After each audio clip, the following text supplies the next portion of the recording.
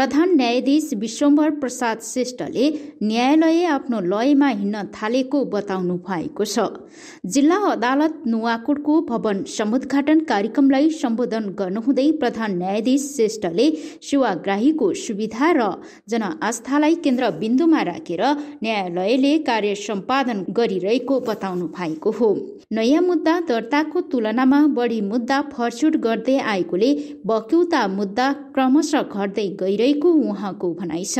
दुई वर्ष नाघेका मुद्दाहरू शून्यमा चार्ने लक्ष्यको साथ काम भइरहेको भन्दै उहाँले छिटो छरितो गुणस्तरीय एवं प्रभावकारी कार्य सम्पादनको माध्यमबाट न्यायमा सबैको पहुँच सुनिश्चित गर्न न्यायपालिका तल्लीन रहेको बताउनु भएको छ। नेपालको संविधानले परिकल्पना गरेको स्वतन्त्र निष्पक्ष सक्षम न्यायपालिकाको प्रत्याभूति एवं न्यायपालिकाप्रतिको आस्था र विश्वास अभिवृद्धि गर्न यस नवनिर्मित भवनबाट हुने न्याय सम्पादन र काम र काम कारवाहीबाट योगदान पुग्ने विश्वास समेत लिएको छु। यस्तै बागमती प्रदेशका आर्थिक मामिला तथा योजना मन्त्री बहादुर सिंह लामा तामाङले दबाव र प्रभावमा नपरी अन्यायमा परेकालाई न्याय दिलाउने काम न्यायालयले गर्छ भन्ने विश्वास सर्वसाधारण नागरिकसम्म पुग्नुपर्ने बताउनु भएको छ। साथै उहाँले जिल्ला अदालतको भवन सेवाग्राही मैत्री रहेको उल्लेख गर्दै खुसी व्यक्त गर्नु भएको छ। र यो स्थानपानदेखि लिएर र चाहिँ सेवाग्राहीहरूलाई सबै चाहिँ राम्रो र व्यवस्थित पनि भएको रहेछ र खुसी व्यक्त गर्न चाहन्छु।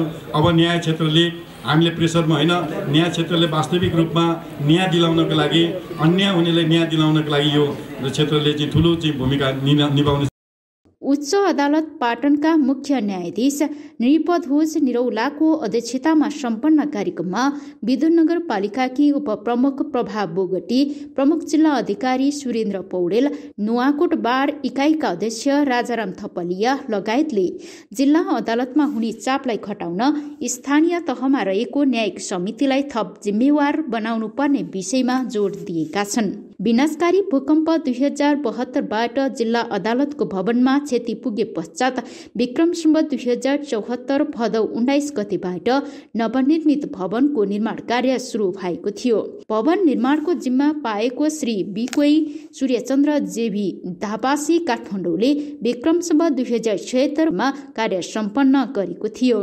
विक्रम सम्बत दुई हजार छिहत्तरको मङ्सिरबाटै दैनिक तथा प्रशासनिक कार्य हुँदै आइरहेको नवनिर्मित भवनको बिहिबार एक औपचारिक कार्यक्रमको बीच समुद्घाटन गरिएको हो। आधुनिक प्रविधिको प्रयोग मार्फत सेवाग्राही मैत्री न्यायालयको रूपमा जिल्ला अदालत नुवाकोट विकसित भइरहेको न्यायाधीश मदन बहादुर धामीले बताउनु भएको छ।